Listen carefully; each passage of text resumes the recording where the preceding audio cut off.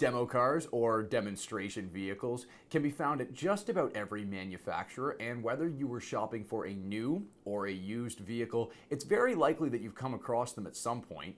They're a new car with a lower price point than the other makes, models, and years of that same vehicle. And that leaves a lot of our customers asking, what exactly is going on here? Demos are vehicles that dealerships allow their staff to drive for a short period of time before taking them off the road and making them available to you. Then once that vehicle is sold, it's taken off the road, the staffer is given a new vehicle to drive, and the process starts over again from scratch. When dealerships sell a demo, they'll often take thousands of dollars off of the price to compensate for any wear and tear that may have happened to the vehicle during its time on the road. And for the most part, the amount of money removed from the price is directly correlated to the number of kilometers that have been put on the vehicle.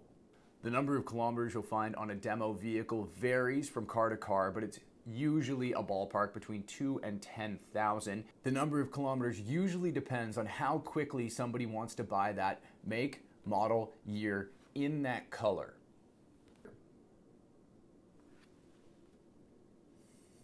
You get the best of both worlds when you buy a demo vehicle. The vehicle has never been sold, so it's still considered new, which means you can get any rebates or special financing that might be attached to that.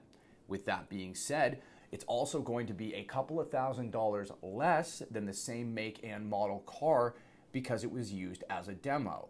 If you're buying a new vehicle, we definitely suggest that you consider looking into a demo. You'll get a newer car with special financing at a price closer to that of a used vehicle. So the next time you're into a dealership, look around, see if there's anything you like, and then ask them if they've got a demo that you might be able to take out for a test drive.